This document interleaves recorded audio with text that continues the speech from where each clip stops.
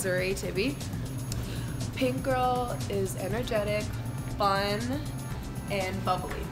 A hero, probably Rihanna, because she's bad and she like has amazing style and she's super talented.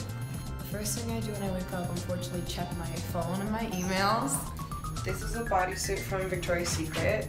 This is a skirt from Marc Jacobs, and these are Louis Vuitton lace. Gucci. Mm, ASAP Ferg's new album is like my favorite new album right now. I'll see you in Shanghai.